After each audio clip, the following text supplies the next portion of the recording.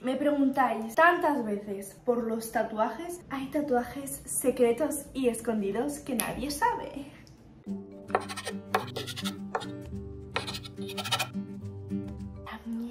De tatuaje que tengo. Personalmente no me, no me gusta mucho. Yo tenía 16 años y quería mucho a Ángel, así que ahí está la prueba de que lo quería. Siete horas tumbada boca abajo sin poder moverte y sufriendo, ¿sabes? No quiero hablar más de este tatuaje.